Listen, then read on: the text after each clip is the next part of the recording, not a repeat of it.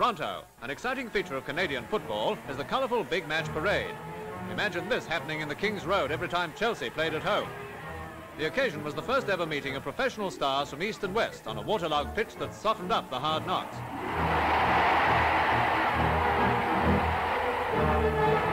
But they certainly made a splash among the headlines, even though the final result was a draw, six points each.